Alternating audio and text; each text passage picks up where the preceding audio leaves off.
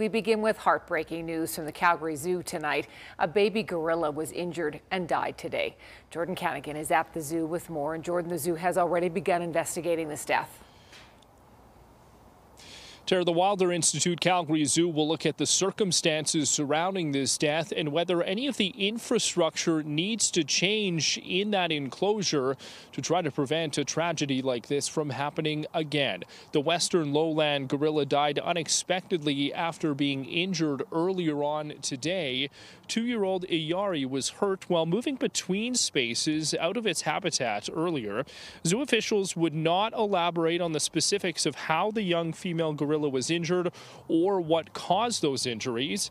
Eyare was born in 2022 here at the zoo and celebrated her second birthday in April. The zoo says the rest of the gorilla troop is grieving, adding it's never easy when an animal dies, but it's especially difficult when it's unexpected. The injury happened while Eyare was being moved. So there's spaces in the back of house area where we do training with gorillas, where we feed them. So they're moving behind those back of house areas. So they're moving from one location to another off habitat. Uh, that gives us a better uh, chances to do training with them, ultrasound, vet care. Now, the African rainforest building was closed for most of the day as a result of what happened earlier. There's no word yet on exactly how long this investigation will take. Tara? All right, Jordan, thank you.